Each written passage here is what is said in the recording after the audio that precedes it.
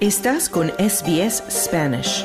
Encuentra más historias fascinantes en sbs.com.au barra Spanish. SBS, a world of difference. You're with SBS Spanish on mobile, online and on radio. Estás con SBS en español, en tu móvil, por internet, en tu radio. Muy buenas tardes, bienvenidos a SBS Audio, Australia en español. Mi nombre es Marcia de los Santos. Te acompaño desde nuestros estudios en la ciudad de Melbourne, tierra ancestral Wurundjeri. SBS reconoce la conexión continua e inquebrantable de los pueblos aborígenes y de los isleños del estrecho de Torres con sus tierras.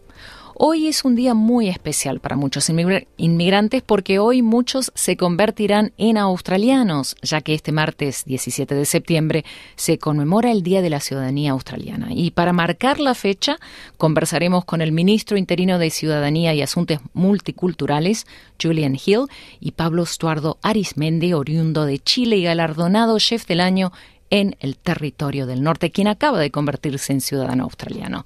En otras noticias te contaremos la historia de una estudiante internacional española que quiere compartir la lección que aprendió después de casi de que casi provoca un incendio en su edificio por sobreestimar el tiempo de calentamiento de una porción de pizza en un microondas. Todo esto y más.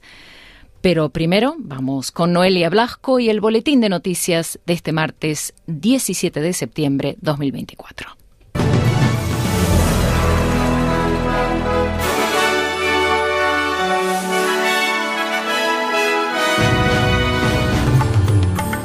Anthony Albanese critica a los verdes por retrasar su proyecto de ley de ayuda a la compra de vivienda.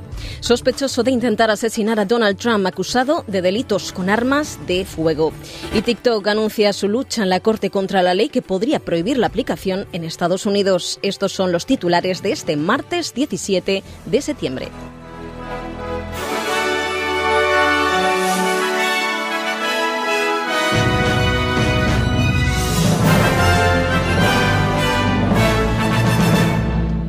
El primer ministro Anthony Albanese acusó a los verdes de actuar con inmadurez y rencor mientras el gobierno federal intenta aprobar su proyecto de ley de ayuda a la compra de vivienda. El Senado aplazó ayer el debate sobre el plan de ayuda a la compra de vivienda que prevé que el gobierno preste hasta el 40% del coste de una casa a 40.000 compradores durante cuatro años. Se espera que se someta hoy a votación. Los verdes afirman que el proyecto de ley hará subir los precios de vivienda y también piden que se elimine la compensación negativa y que se congelen y limite el precio del alquiler. Albanese lamentó que los demás partidos no estén trabajando de forma constante en la legislación. And the Liberals and the Nationals have to decide whether they are just blockers los verdes, los liberales y los nacionales tienen que decidir si se limitan a bloquear o a buscar soluciones. Estamos en una fase de ciclo político de después de dos años y medio en la que parece que cada vez más la coalición y los verdes se alían para bloquear cosas que no son más que reformas de sentido común, decía. Y por otro lado, el Consejo Empresarial de Australia afirma que las políticas de gobierno federal están obstaculizando el desarrollo y que muchos empresarios tienen previsto invertir en el extranjero debido a los cambios en las relaciones laborales. En un discurso que pronunciará esta noche Bram Black, jefe del Business Council Australia, afirmará que el país se está convirtiendo en un lugar menos atractivo para invertir.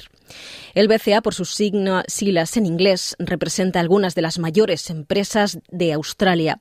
Black asegura que la fiscalidad y las nuevas normas sobre relaciones laborales, como las leyes sobre el derecho a la desconexión, no están ayudando a las empresas en absoluto. Scott Phillips, del grupo de asesoramiento de inversiones Motley Fool, declaró a Sky News que los planes de gobierno son meritorios, pero podrían considerarse muy arriesgados. I think the risk is that the government overstretches. You know, we've got a 700 page Creo que el riesgo es que el gobierno se extralimite. Tenemos 700 páginas de legislación sobre el mismo trabajo, mismo salario, por ejemplo. Hay que preguntarse hasta qué punto es viable. Lo mismo ocurre con el derecho a la desconexión. Son objetivos valiosos. El planteamiento va probablemente en la buena dirección, pero conceptualmente, si no se consigue crecimiento para la economía y la productividad, quizá se retroceda mientras se intenta avanzar. Por otro lado, decía. E investigadores australianos han descubierto células especiales con larga memoria para eh, que podrían ayudar a producir nuevos tratamientos contra el coronavirus. Un estudio del Instituto Doherty descubrió células T de memoria que reconocen el coronavirus de larga duración y pueden combatir infecciones posteriores durante dos años. Las células T combaten las infecciones víricas eliminando las células infectadas y pueden recordar lo que han y, y pueden recordar lo que han ido encontrando. El estudio se centró en la inmunidad frente a la COVID prolongada, un campo muy poco estudiado hasta el momento. La COVID prolongada es una enfermedad crónica en la que las personas que han contraído COVID-19 experimentan síntomas durante un largo periodo de tiempo. Puede afectar a casi todas las partes del cuerpo a través de fatiga extrema, dolor muscular, disminución de apetito, problemas de sueño u otros. Y un nuevo informe parlamentario pide al Gobierno federal que aumente el apoyo a Ucrania y afirma además que Australia debería reforzar de forma significativa la ayuda militar y humanitaria. La comisión liderada por la oposición formuló 22 recomendaciones, entre ellas el restablecimiento de la Embajada de Australia en Kiev y que se dé prioridad a las futuras peticiones ucranianas de envío de carbón. La investigación del Senado pide el nombramiento de un coordinador general que informe al Comité de Seguridad Nacional del Gabinete y dirija los esfuerzos de ayuda. Hasta la fecha, Australia ha donado a Ucrania más de mil millones de dólares en ayuda militar, incluidos vehículos de infantería, munición y artillería. Y un nuevo informe del Instituto Australiano de Salud y Bienestar afirma que la demencia afecta ya a casi medio millón de australianos. La demencia es un conjunto de síntomas causados por trastornos cerebrales como la pérdida de la capacidad de pensar, recordar o razonar. Los datos eh, de la AIHW, por sus siglas en inglés, muestran que el número de prescripciones de medicamentos para la demencia ha aumentado casi un 50% en los últimos 10 años, a medida que más personas buscan diagnósticos y terapias que puedan ralentizar la progresión de la enfermedad. En el año 2022-2023 se dispensaron casi 688.000 recetas de medicamentos para la demencia a unos 72.400 australianos mayores de 30 años, frente a las poco más de 472.000 recetas para unas 50.000 personas 10 años atrás. Melanie Dunford, jefa en funciones del Grupo de Salud de la Población de AIHW, afirma que, aunque los datos hablan de una mejor comprensión de la enfermedad en general, no reflejan el panorama completo. In terms of prescriptions being dispensed, at the moment under the PBS, they're only eligible for people who are diagnosed with Alzheimer's disease. En cuanto a las recetas que se dispensan por el momento, el plan de prestaciones farmacéuticas, PBS por sus siglas en inglés, solo se aplica a las personas a las que se ha diagnosticado la enfermedad de Alzheimer. Es solo una pequeña proporción de personas a las que se les diagnostica demencia. Las recetas están ahí para controlar los síntomas, pero no hay cura para la demencia. Hay una corte de personas diagnosticadas de demencia a las que no se les prescribe los medicamentos porque no pueden tomarlo, decía. Y por otro lado, está en marcha la primera audiencia ceremonial de una investigación para esclarecer la verdad en Brisbane con la asistencia de más de mil personas. La investigación atenderá una serie de historias incómodas que revelan el impacto de la colonización de los primeros colonos de Australia en las comunidades indígenas. El presidente de la investigación, Joshua Kramer, de las etnias Wanji y Kalkadun, afirma que la investigación, que busca la verdad y busca la sanación, animará a los habitantes de Queensland a conocer mejor la historia del Estado. Creamer forma parte de los cinco miembros que dirigen la investigación independiente sobre la oscura historia del Estado. El proceso de investigación de tres años de duración forma parte de la Ley del Camino a los Tratados, que también ha supervisado la creación de un instituto de tratados en el propio Estado de Queensland. Y este año se introducirá una nueva tecnología a los colegios del estado de Nueva Gales del Sur para aliviar la presión a los profesores, unos profesores desbordados. La nueva herramienta de inteligencia artificial conocida como New South Wales EduChat se pondrá a disposición de los educadores a partir del cuarto trimestre el próximo 14 de octubre. La ministra de Educación de Nueva Gales del Sur, Brooke Hart, afirma que la tecnología basada en inteligencia artificial ahorrará tiempo a los profesores al simplificar tareas como la producción de recursos para los alumnos, la comprobación de la correspondencia y la preparación del propio material. Según el Gobierno estatal, algunos profesores han declarado haber podido ahorrar hasta cuatro horas semanales gracias a la nueva aplicación. Y el hombre sospechoso de intentar asesinar al expresidente estadounidense Donald Trump ha sido acusado de delitos con armas de fuego mientras continúa la investigación. El presunto autor de los disparos, Ryan Wesley Roth, de 58 años, esperó cerca del campo de golf de Trump en Florida durante 12 horas y fue detenido tras huir en un vehículo robado. Trump ha culpado al presidente estadounidense Joe Biden y a la retórica de Kamala Harris de intento de atentado. Afirma que le atacan por su lenguaje incendiario diario. Se trata del segundo atentado aparente contra Donald Trump en los últimos dos meses. El director en funciones del Servicio Secreto estadounidense, Ronald Rowe, afirma que no está claro si el sospechoso sabía que Trump iba a estar allí. He tenido una conversación con el expresidente, hemos trabajado en la campaña. El presidente es consciente de que tiene los niveles más altos de protección que el servicio secreto le puede proporcionar, decía. Y el primer ministro británico, Keir Starmer, ha prometido una nueva era en la cooperación transfronteriza contra las bandas de traficantes de personas. Starmer se ha reunido con la primera ministra italiana, Giorgia Meloni, y ha declarado que quiere saber cómo su gobierno de derechas ha conseguido reducir de forma drástica el número de inmigrantes que llegan en barco a las costas italianas. Keir afirma que su gobierno ya ha empezado a hacer progresos a diferencia del plan de gobierno anterior de enviar a solicitantes de asilo a Ruanda. Pero en lugar de un truco que, como saben, costó 700 millones de libras convencer a cuatro voluntarios para que volvieran a Ruanda, hemos seguido el camino de pragmatismo y hemos devuelto a más de 3.000 personas en vuelos. Esos vuelos realmente salieron bajo este gobierno, no a Ruanda, sino de vuelta a los países de origen, llevados, llevando con ellos a 3.000 personas que no deberían estar aquí, dijo. Y una asesora de formación profesional ha asegurado estar alarmada al enterarse de que el Gobierno federal ha aprobado plazas para estudiantes internacionales en al menos 11 colegios privados que han recibido sanciones por no cumplir normas de calidad.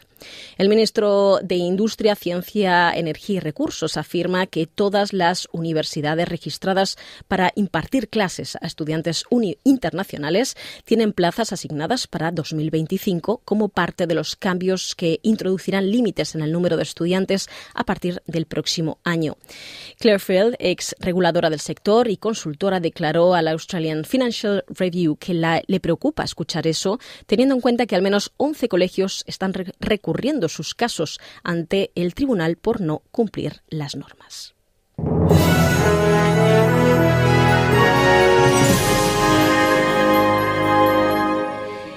Y el pronóstico del tiempo para esta tarde se esperan 27 grados centígrados de máxima en la ciudad de Perth en un día soleado. 19 grados en Adelaide, alcanzará los 19, eh, grados y un día soleado. 17 grados en Melbourne, parcialmente nublado. 14 de máxima en Hobart en un día con nubes. Canberra soleado con 19 grados de máxima. Sydney alcanzará los 22 de máxima en una tarde de sol. Brisbane 24 grados y similares condiciones. Cairns llegará a los 26 grados centígrados en una tarde lluviosa, al igual que Darwin que llegará a los 32 grados de máxima. Hasta aquí el boletín de noticias de SBS Audio. Ahora te invitamos a continuar en sintonía de Australia en español. Mañana más información a partir de la una. Muy buenas tardes.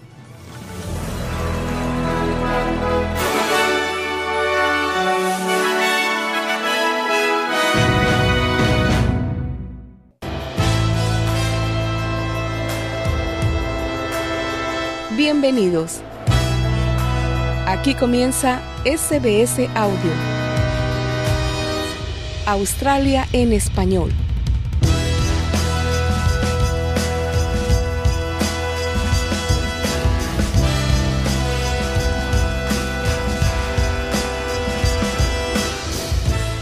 Muy buenas tardes y bienvenidos a una nueva edición de SBS Audio Australia en Español. Mi nombre es Marcia de los Santos. Hoy en el programa te contaremos una historia que podría ayudar a muchas personas a no sobreestimar el tiempo de calentamiento de alimentos en los microondas. Natalia Álvarez se acercará a nuestros micrófonos más adelante en el programa para compartir la lección que aprendió a causa de un malentendido. También hablaremos del mes de la herencia hispana en Estados Unidos, una celebración anual que reconoce la historia, cultura y contribuciones de los hispanos en dicho país, donde representan la quinta parte de su población. Y como es habitual, también te actualizaremos en materia deportiva. Pero antes, vamos a hablar sobre la importancia de la ciudadanía australiana en el marco del Día de la Ciudadanía Australiana que se celebra hoy martes 17 de septiembre a lo ancho y largo del país.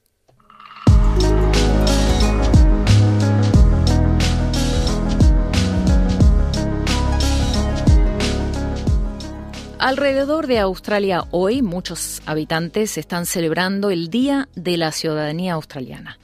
Pero si no lo sabías, la fecha se celebra anualmente el 17 de septiembre desde que el gobierno creó la iniciativa en 2001 con el fin de aumentar la conciencia de la comunidad sobre la importancia y beneficios de convertirse en ciudadanos australianos. El Departamento de Asuntos Internos y las municipalidades promueven el Día de la Ciudadanía Australiana mediante ceremonias especiales de ciudadanía y diversos eventos. Las escuelas, las organizaciones y los grupos comunitarios también se unen a las celebraciones a través de actividades especiales que se enfocan en reflexionar sobre la identidad nacional. En SBS Audio conversamos con el ministro interino de Ciudadanía y Asuntos Multiculturales, Julian Hill, y le preguntamos qué está haciendo el gobierno para ayudar a más inmigrantes a convertirse en ciudadanos australianos. So we do encourage people to take up uh, citizenship. We continue to review the, you know, the citizenship test to make sure that it's got integrity, but is also fair. El ministro decía que alentamos a las personas a obtener la ciudadanía y continuamos revisando el examen de ciudadanía para asegurarnos de que el examen tenga integridad y que también sea justo. El gobierno defiende el requisito de que el examen de ciudadanía se realice en inglés básico. Hice una campaña fuerte cuando estábamos en la oposición para mantener el equilibrio adecuado, pero alentamos a la gente a convertirse en ciudadanos australianos, explicaba el ministro Hill. La opción para obtener la ciudadanía australiana se hizo realidad hace 75 años, cuando los australianos eran considerados súbditos británicos. Desde entonces, más de 6 millones de personas nacidas en el exterior se han convertido en australianos en ceremonias de ciudadanía. Muchos de estos inmigrantes pertenecen a las comunidades de habla hispana. Le preguntamos al ministro Hill cómo los inmigrantes de nuestra comunidad han ayudado a dar forma a la identidad de Australia desde la introducción de la Ley de Ciudadanía Australiana hace más de siete décadas. Uh, I absolutely love and engage regularly with our Spanish speaking community. People from all parts of the Spanish speaking world, obviously Southern America, uh, Spain, uh, and other places. Me encanta y me relaciono regularmente con personas de la comunidad de habla hispana y de todas partes del mundo de habla hispana. Obviamente personas de América del Sur, España y otros lugares. Sin embargo, si miras a nuestra comunidad y de hecho nuestras vidas a nivel nacional, hay australianos de habla hispana que ocupan un lugar en todas partes de nuestra historia nacional, ya sea en el liderazgo, en el sector de los negocios, en las artes, en el teatro, en los deportes. Y creo que a los australianos les encantan los festivales que organizan las comunidades hispanas. Conozco uno que duró muchos años en el sureste de Melbourne, que fue un evento muy querido, no solo para la comunidad de habla hispana, sino por supuesto para toda la comunidad, porque a los australianos de habla hispana les encantan las fiestas, señalaba el ministro interino de Ciudadanía y Asuntos Multiculturales, Julian Hill. Las razones por las que los inmigrantes obtienen la ciudadanía australiana varían ampliamente. Pero el ministro Hill afirma que la mayoría de los migrantes en Australia, que son residentes permanentes, eventualmente se convierten en ciudadanos australianos. Este fue el caso del chileno Pablo Stuardo Arismendi, que vive en la ciudad de Darwin, en el territorio del norte, y quien se convirtió en ciudadano australiano hace días, después de 10 años de vivir en Australia. Esta tarde, Pablo comparte con nosotros el viaje de éxitos y desafíos que lo llevaron a convertirse en ciudadano australiano después de una década y cómo, a través de su trabajo como chef, está enriqueciendo la identidad australiana con elementos de la cultura latina. Sí, la verdad ha sido un, largo trayecto para llegar hasta acá. Fueron 10 años y nada, hoy por fin se siente como que se termina una etapa en cierto modo, como que por fin se cierra todo el tema de, visa, de, todas esas cosas. Así que se siente bien, se siente un poco de entre relajo, alegría, nerviosismo también. Pero no, se siente bien. Cuéntanos un poco sobre toda esa lucha durante estos 10 años para llegar a este punto? Sí, mira, la verdad, yo llegué a Sydney primero y ahí viví por los primeros cinco años de mi vida en Australia y siempre todo, porque siempre fui con visa estudiante, cosas así, entonces siempre me sentí un poco lejano. Y luego por, por COVID y por conciencia de la vida llegué a Darwin y Darwin se sintió un poco más como casa, se sintió, no sé si porque es un poco más pequeño, el ambiente un poco más cercano con la gente, sentí como más casa. Y ahí fue cuando dije, bueno, me propongo quedar. Empecé a buscar oportunidades, ver cómo se podía hacer. Gracias a Dios, Darwin tiene muchas oportunidades regionales. Y ahí agarré la visa y luego todo en verdad fue muy rápido. Creo que apliqué a la visa, no sé, en septiembre, me la aprobaban en octubre y así fue todo muy, muy rápido. Pero ha sido, ha sido difícil, la verdad. O sea, también he pasado por nunca ha sido la, historia que a uno le, pintan a veces. Ha sido mucho altibajo. Muchas veces pensé en botar todo, irme a casa, volver. Muchas veces me quedé sin trabajo, a veces no tenía dónde vivir por semanas. Y luego también tenía momentos muy altos donde me iba muy bien en el trabajo, donde tenía muchos amigos, muchas cosas. Siempre ha sido como una montaña rusa de emociones. Pero ahora ya ya bien. Porque fueron 10 años para sentir esta seguridad que te da la ciudadanía, ¿no? Sí, no, yo, la verdad, yo me vine por seis meses.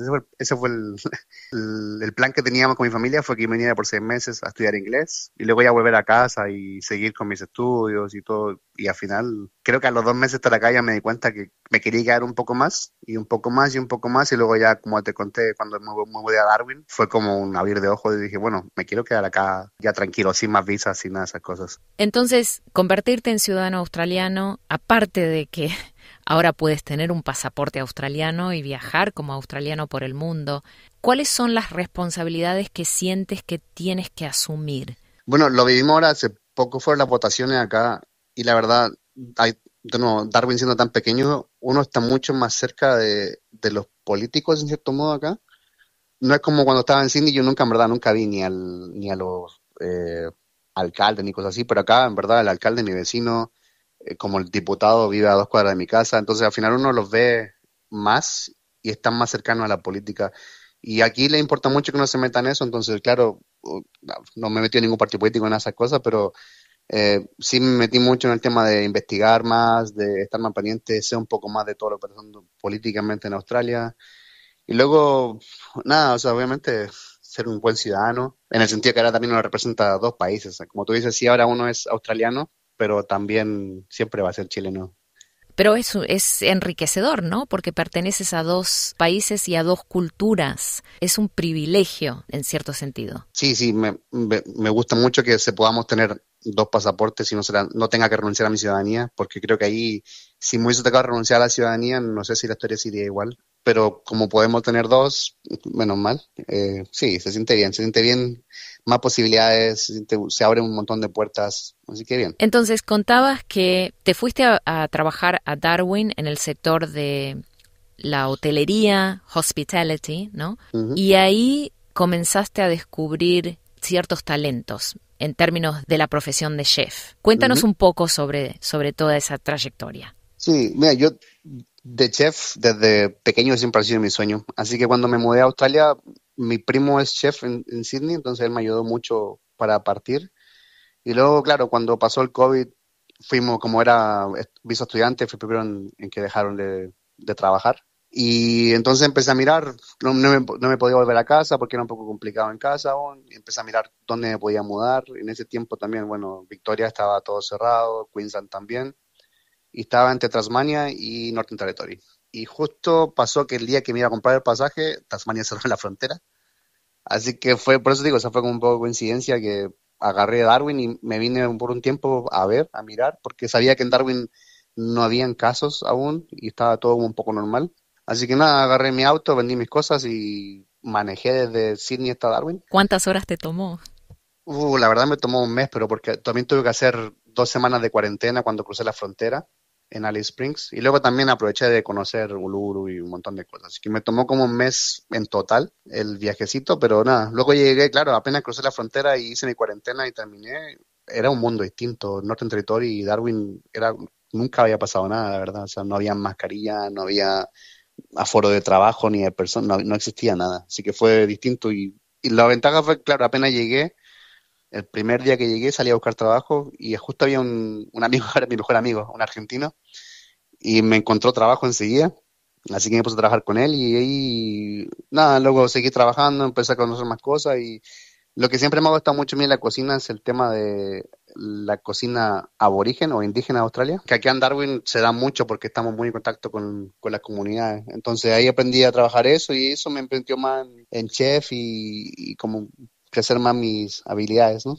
Ahora, después de toda esta experiencia, la perla de todo esto es que te otorgaron un premio, un galardón de chef del año en el territorio del norte. Sí, no, este año la verdad que ha sido un año muy bueno para mí, no me puedo quejar, pero sí, eh, es un, un, award que se hace, un premio que se hace todos los años acá en, en, en el norte del territorio que se llama la Cold Place para todos los hospitality. Entonces, lo que se hace es que prácticamente todos los chefs del territorio se inscriben en la competencia y luego se hace, se evalúa primero el currículum, se evalúa la experiencia y también se hace un test escrito de 180 preguntas como de conocimientos.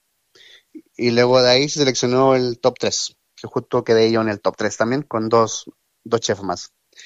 Y luego de eso, el top 3 tuvo que hacer una competencia, un cook-off, que se llama, que como cocinar, nos pusieron un montón de ingredientes ahí y nos dijeron que teníamos que usar baramandi, que es como el pescado típico de Darwin, como main, y luego ya inventar algún plato usando los productos que teníamos ahí. Así que siendo claro, tuvimos una hora. Siendo chileno, siendo chileno, que te pidan que prepares, elabores un plato con pescado habrá sido súper sí, fácil verdad, en cierta forma. Lo primero ¿no? que agarré fue hacer, hacer un ceviche para empezar, obviamente, y luego ya me puse un platillo ahí con un, una crema un poco media rara, con sweet potato y celeriac y cosas así. Y la verdad que quedó bonito y nada, luego tocó esperar. Los otros chefs también hicieron un buen trabajo, entonces en verdad no sabía quién ganó.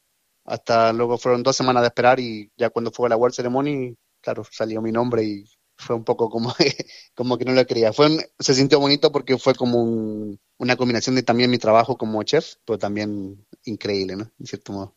Felicitaciones. ¿Y Muchas gracias. cómo lo presentaste? ¿Como un plato latinoamericano, chileno? Siempre he tratado aquí de presentarme más que como chileno, como latino. Obviamente, al final siempre chileno, pero trato de que la comunidad latina crezca más y sea más representada. Entonces, siempre todos mis, mis platos en el restaurante de trabajo son todos más enfocados en Latinoamérica y trato siempre de mezclar un poco de todos los países. Entonces, la presentación de acá, claro, de partida puse, le dije si podíamos poner música latina, así que puse un poco de reggaetón y salsa y cumbia para para el ambiente mientras cocinaba, obviamente, porque para ellos fue muy raro, o sea, todo el mundo era como tranquilo, yo decía, no, yo pongamos un poquito de bailoteo. Y luego ya para presentar el plato, claro, ellos piden solamente un plato, pero yo hice dos, les metí ceviche para mostrarle, obviamente, Latinoamérica es, es ceviche, país donde vayamos siempre hay algún tipo de ceviche.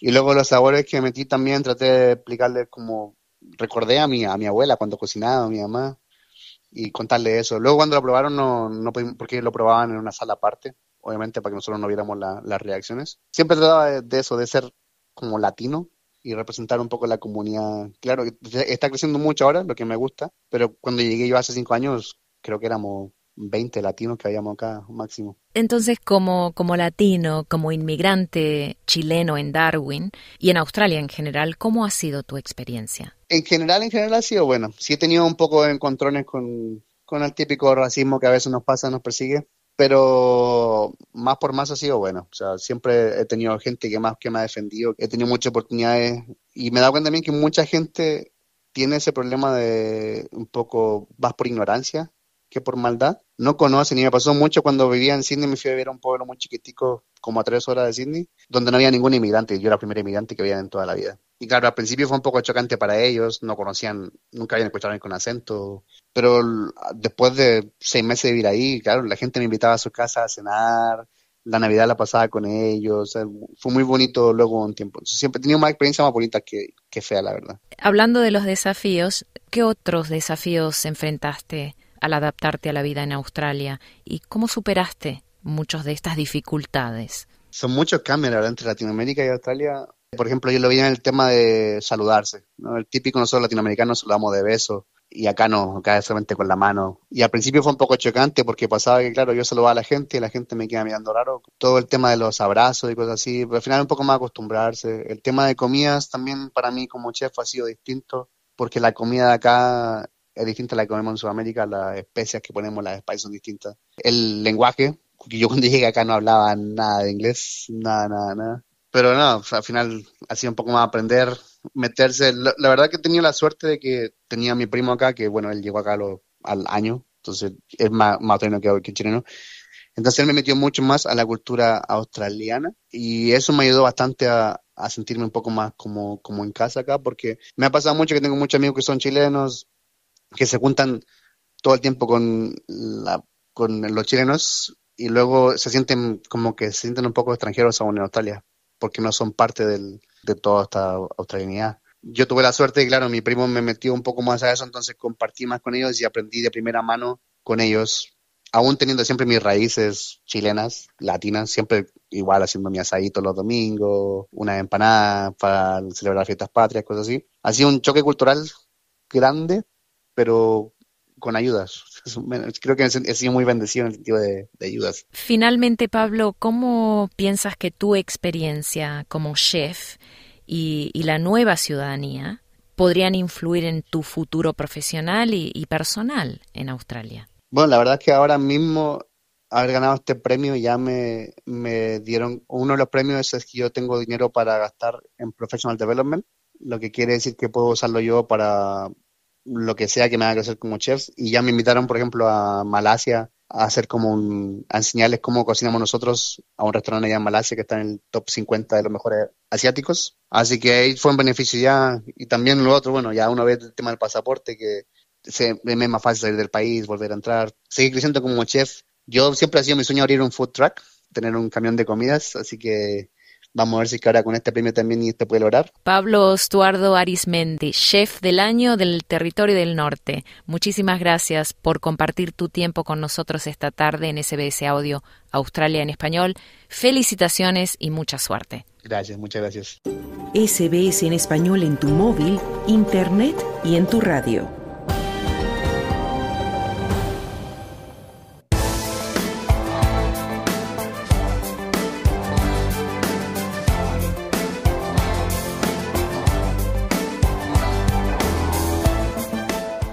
Pasamos ahora a una historia insólita e impactante de la que hay mucho que aprender. Natalia Álvarez, una estudiante internacional española, decidió trasladarse a Sydney para trabajar en una investigación sobre la participación de Australia en el Festival Eurovisión. Cerca de un mes después de instalarse en una residencia de estudiantes universitarios, Natalia provocó un, un incidente con grandes repercusiones al calentar durante un periodo excesivo de tiempo una porción de pizza en el microondas, que terminó quemándose y despidiendo mucho humo que activó la alarma de evacuación. Esto obligó, obviamente, una evacuación total de los residentes del edificio hasta que llegaron los bomberos. Por suerte, el incidente no pasó a mayores. Sin embargo, Natalia tuvo que pagar por el desplazamiento de los bomberos.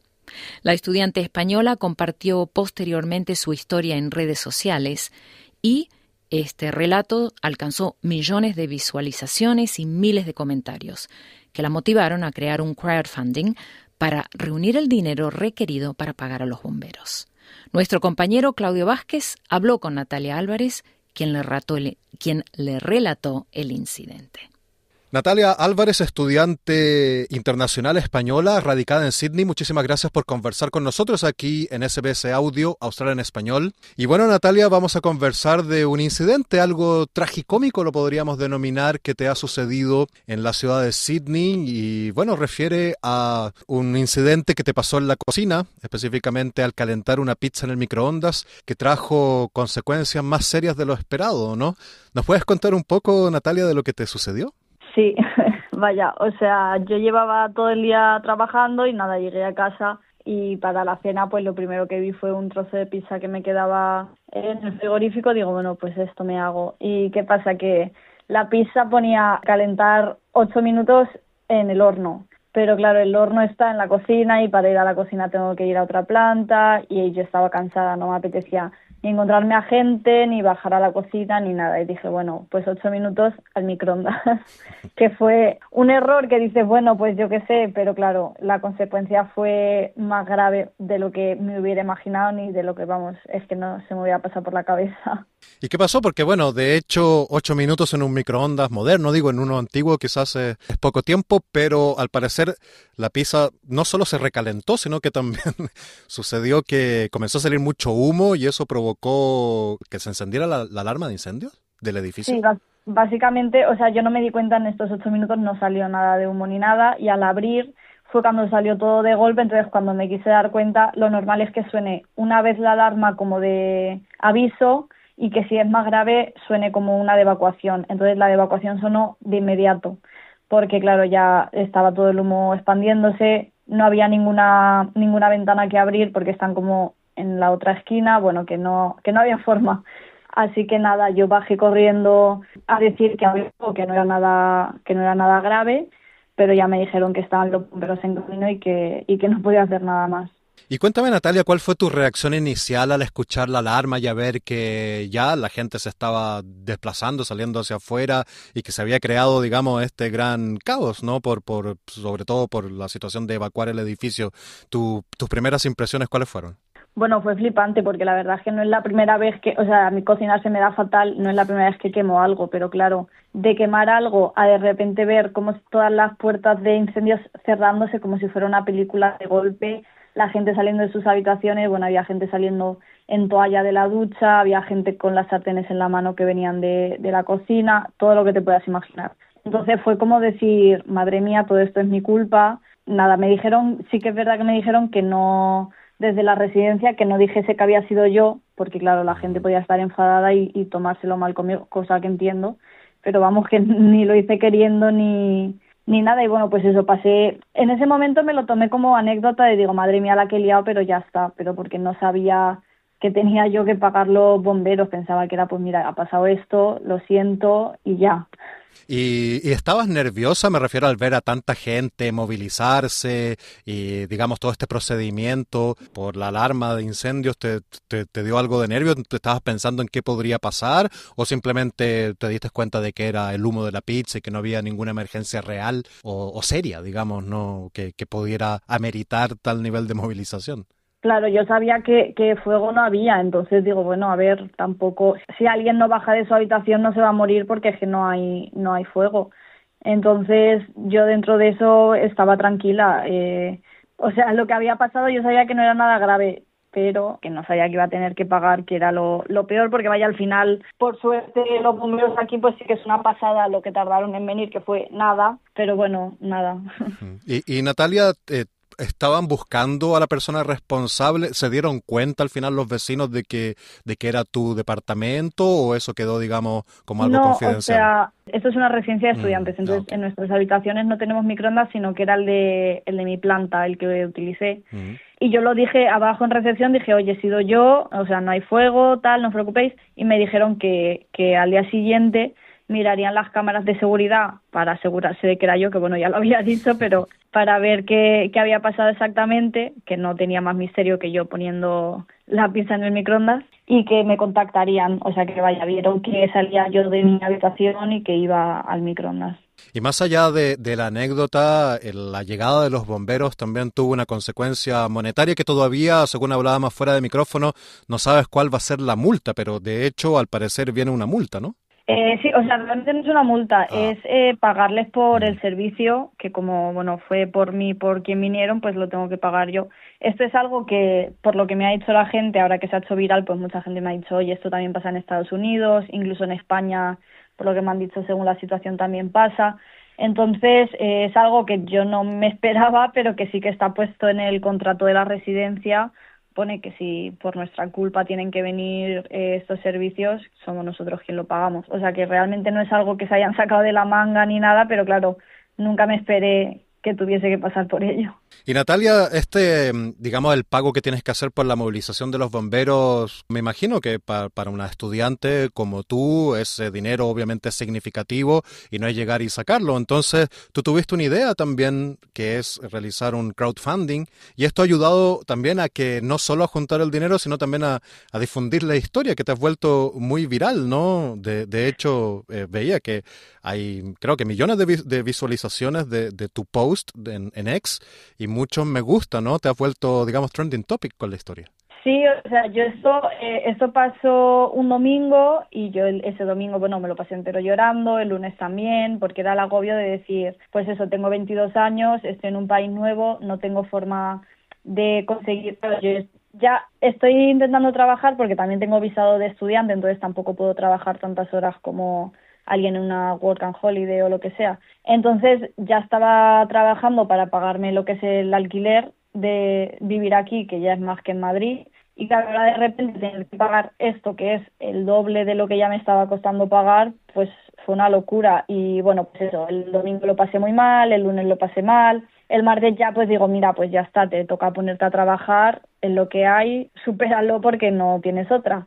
Y ya el miércoles dije, oye, pues mira, ya lo había medio superado, ya parecía que había encontrado algún trabajo de repartiendo folletos o lo que sea. Digo, lo voy a compartir en, en Twitter porque, bueno, pues mira, al final es una historia que aunque tenga ese, ese punto malo de que tengo que pagarlo, pues y digo, mira, me voy a reír de mí misma, voy a publicarlo y ya está. Y si a alguien le alegro la tarde de decir, mira, siempre hay alguien que está peor que yo, esta tía es tonta y no sabe ni hacer una pizza, pues mira. Y entonces, claro, la gente de broma me decía, ah, pues haz un crowdfunding. Y yo digo, a ver, no creo que haya nadie que, que quiera poner dinero, pero bueno, mira, por intentar lo que no falte, como se estaba haciendo tan viral, que es verdad que tiene como casi 6 millones de visitas el primer tweet que puse. Dije, lo voy a hacer y la gente pues como que iba poniendo 5 euros, 5 euros, luego había gente que ponía más y al final pues se ha llegado a la cifra y la verdad es que, o sea, no me lo puedo creer que lo hice de broma, digo, bueno, pues si hay alguien que le falte el dinero, que tenga un sitio donde ponerlo si quiere, pero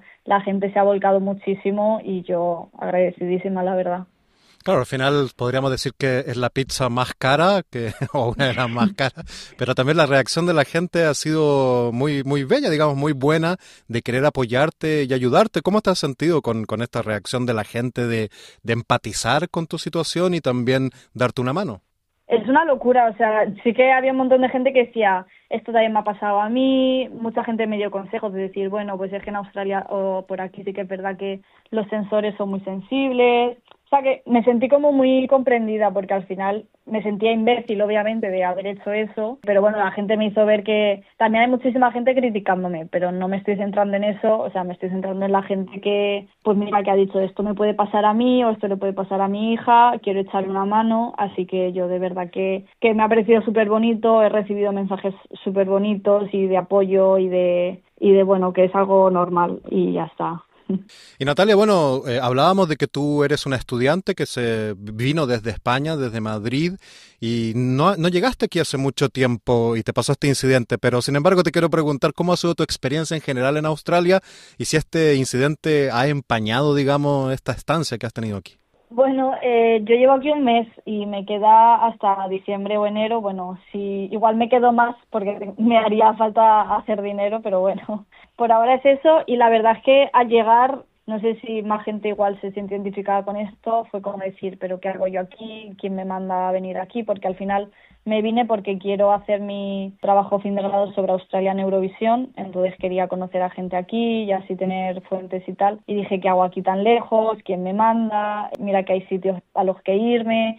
Y las primeras semanas fueron un poco duras en ese sentido y que tampoco encontraba trabajo, pero bueno, al final he ido conociendo a gente. Sydney en concreto me parece un sitio súper multicultural, he conocido a gente de todo el mundo, sobre todo de Asia, que creo que en Europa como que vamos más europeos por un lado, asiáticos por otro, y aquí eh, me he podido mezclar con muchas más culturas, me encanta el país, me encanta la ciudad, la universidad es una pasada, así que ahora que este incidente como que se va arreglando y voy viendo la luz, eh, la verdad es que estoy súper contenta de estar aquí, sí.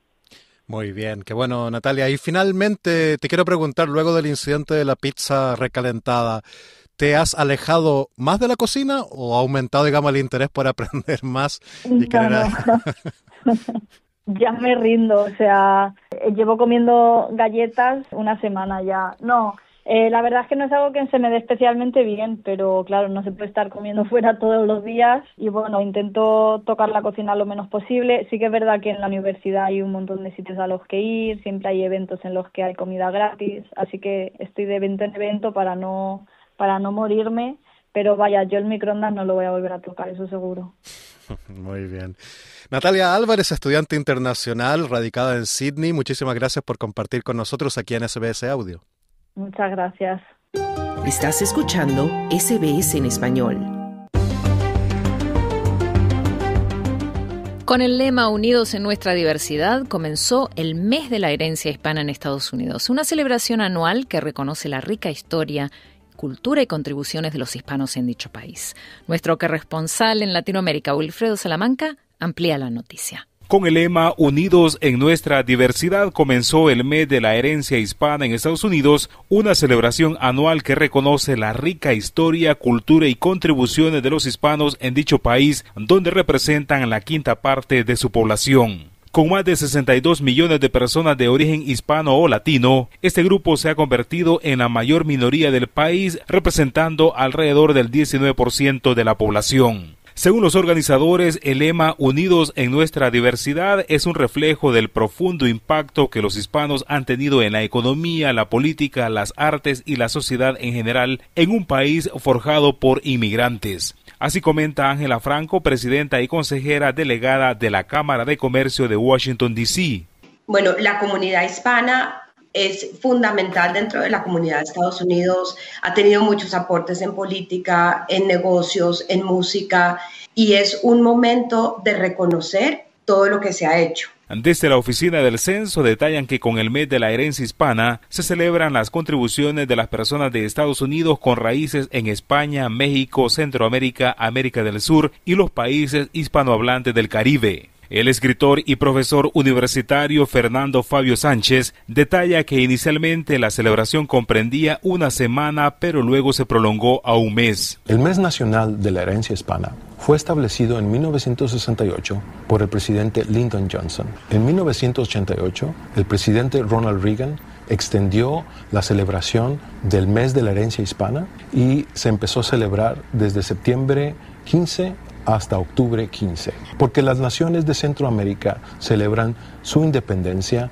en este día, septiembre 15. Las naciones serían Costa Rica, Nicaragua, Honduras, Guatemala y El Salvador. Los hispanos son un componente esencial en la fuerza laboral estadounidense. De acuerdo con datos de la Oficina del Censo, más del 80% de la población hispana está en edad laboral y contribuye en la construcción, agricultura, manufactura y servicios. Además, el impacto económico de los empresarios hispanos es significativo. Según la Cámara de Comercio Hispana de Estados Unidos, más de 4 millones de negocios en el país son propiedad de latinos, generando ingresos superiores a los 800 mil millones de dólares anuales.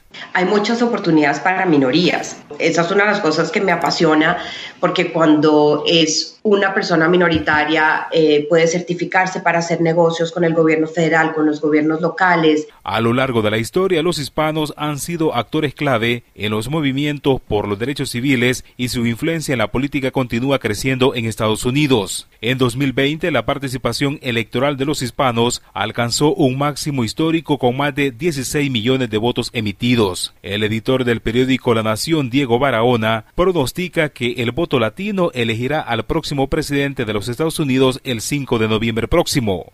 Esta no es una exageración. últimos datos señalan que el aumento en el voto latino ha sido significativo. Actualmente, los latinos representan cerca del 15% del electorado a nivel nacional. Y aunque esto pueda sonar como un número pequeño, en realidad no lo es, especialmente cuando se tratan de elecciones tan cerradas como las que hemos tenido en los últimos años. En el ámbito cultural, la contribución hispana ha redefinido la identidad de Estados Unidos. Desde la música y el cine hasta la gastronomía y las artes visuales, los hispanos han enriquecido el panorama cultural del país. El auge de la música latina con géneros como el reggaetón, la bachata y el mariachi ha cruzado fronteras lingüísticas. Además, en las cocinas estadounidenses, los sabores latinos han dejado una marca indeleble. Desde los tacos hasta el ceviche, la gastronomía hispana es parte integral de la dieta y la experiencia culinaria de millones de estadounidenses, según Mark López del Centro de Investigaciones Pew. 99% de todos los estadounidenses está viviendo cercana de un restaurante mexicano y yo pienso que esta es una indicación de la comida mexicana en muchos aspectos. Aunque menos visibilizados, los hispanos también han tenido un impacto significativo en la ciencia y la tecnología en Estados Unidos. Nombres como Ellen Ochoa, la primera mujer hispana en el espacio en 1993, y Mario Molina, ganador del Premio Nobel de Química en 1995, han abierto camino en áreas críticas de investigación e innovación. Así la traducción de Telemundo a declaraciones de Ellen Ochoa. Definitivamente, no me puedo imaginar nada más emocionante y gratificante que haber sido parte de un equipo que brinda beneficios para la gente aquí en la Tierra. Por ello, del 15 de septiembre al 15 de octubre, comunidades de todo el país conmemoran el mes de la herencia hispana con actividades culturales, educativas y festivas, resaltando la diversidad que caracteriza a los hispanos en Estados Unidos. Entre los homenajeados de este año se incluyen a figuras como la actriz y activista Eva Longoria, el chef José Andrés y el periodista Jorge Ramos, quienes recibirán reconocimiento por sus contribuciones tanto dentro como fuera de la comunidad hispana. Para SBS Audio informó Wilfredo Salamanca.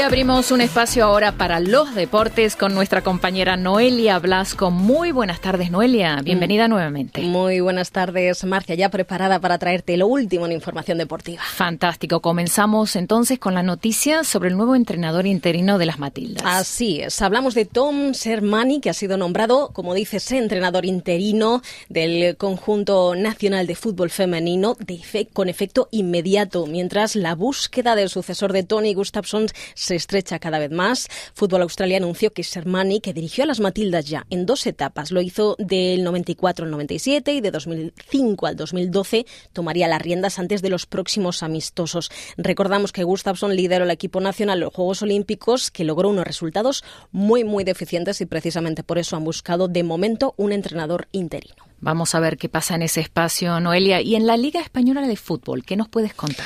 Pues que ha ganado el Rayo Vallecano, lo hizo la pasada noche por 3 a 1 a Osasuna en el cierre de la quinta jornada de la Liga, en un duelo en el que la estrella colombiana James Rodríguez dispuso de los primeros minutos tras regresar al campeonato español cuatro años después de jugar con el Real Madrid. Clave con el gol de penal con el triunfo 2-1 de Colombia ante Argentina hace apenas unos días en la pequeña, en la pequeña venganza de la final de Copa América, James tuvo sus primeros minutos con el Rayo tras saltar al césped en el minuto 86. Y de la Liga Española pasamos a la Liga de Campeones. ¿Qué está pasando allí? Pues mira, que hay cambios que con el fin de dar un poquito más de emoción a la primera fase del torneo y de contrarrestar también la amenaza de una Superliga, la Champions echa a andar hoy con un nuevo formato con el Real Madrid vigente campeón como rival a batir. Con el nuevo formato se ha pasado de 32 clubes participantes a 36 y cada uno de ellos se enfrentará a 8 rivales, 4 como local y 4 como visitante y pelearán por estar más arriba en la tabla de clasificación y poder clasificarse a octavos de final. Los ocho primeros clasificados al finalizar esta liga avanzarán a octavos y los equipos que queden entre el puesto 9 y 24 se enfrentarán en un playoff a ida y vuelta por meterse en octavos de final. Y repasamos los principales partidos de la Liga Mexicana de Fútbol, Noelia. Mira, Cruz, Azul, Toluca y Tigres buscan mantenerse esta semana como los únicos invictos en el torneo de apertura 2024 de fútbol mexicano. Lo harán esta semana. Cuando disputen sus partidos en la octava jornada de visitantes, lo harán frente al Atlético San Luis, Pachuca y Querétaro.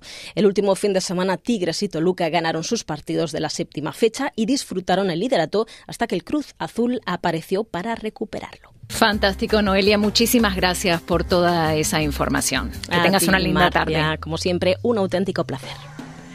Y hasta aquí llegamos en SBS Audio Australia en español. Te recordamos que en los próximos minutos este programa estará disponible en nuestra página de internet en sbs.com.au barra Spanish y también por la aplicación SBS Audio. No te olvides que también estamos en Instagram y Facebook bajo el nombre SBS Spanish Australia en español. Muchísimas gracias por tu compañía. Hasta la próxima.